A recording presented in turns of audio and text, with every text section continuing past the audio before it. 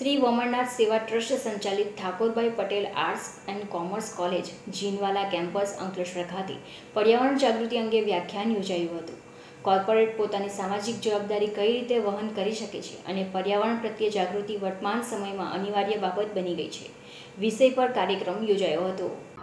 NSS programme officer doctor Jayshree Chaudhary પ્રસ્તાવના બાંધી હતી તથા વક્તનો પરિચય આપ્યો હતો. પ્રાસંગિક ઉદ્બોધન ઇન્ચાર્જ આચાર્ય ડૉક્ટર કે એસ ચાવડાએ વિદ્યાર્થીઓને પ્રોત્સાહિત કરતા જણાવ્યું હતું કે, પર્યાવરણ પ્રત્યે જાગૃતિ વર્તમાન સમયમાં અનિવાર્ય બાબત બની ગઈ છે. મુખ્ય વક્તા ડૉક્ટર ચેતન ઉપાધ્યાયે પર્યાવરણ વિશે વ્યાખ્યા આપતા જણાવ્યું હતું કે, આજે ઇન્ડસ્ટ્રીયલ ગ્રોથ ઇન્ફ્રાસ્ટ્રક્ચર વધી રહ્યું છે, ઇકોનોમિક ડેવલપમેન્ટ થઈ રહ્યું છે, પરંતુ કેટલીક વખત આ બધું પર્યાવરણ અને સમાજને નુકસાનકારક બનતું હોય છે.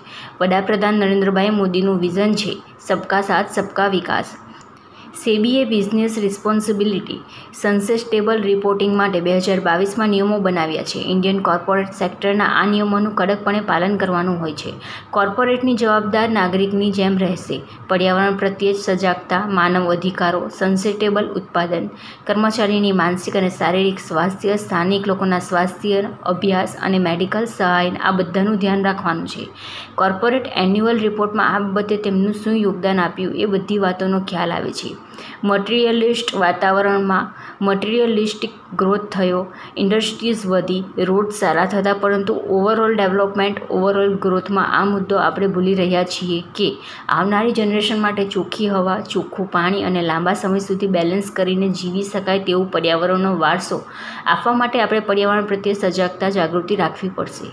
કેમ્પસ એમ્બેસેડર સેવક પઢિયારે પ્રતિભાવ આપતા જણાવ્યું હતું કે આ વિસ્તારના ધારાસભ્ય ઈશ્વરસિંહ પટેલ કોલેજને ટેક ઓવર કરીને અમારા જેવા વિદ્યાર્થીઓ પર મોટો ઉપકાર કર્યો છે. અમે કોલેજ વિકાસ માટે સતત કાર્યશીલ રહીશું. ડૉક્ટર ચેતન ઉપાધ્યાયનું વક્તવ્ય ખૂબ જ ઉપયોગી નીવડશે. આ પ્રકારના વ્યાખ્યાનનું આયોજન થતું રહે એ વિદ્યાર્થીઓ માટે જરૂરી છે. એનએસએસ પ્રોગ્રામના ઓફિસર પ્રાધ્યાપક રાજેશ પંડ્યાએ આભાર વ્યક્તિ વ્યક્ત કરી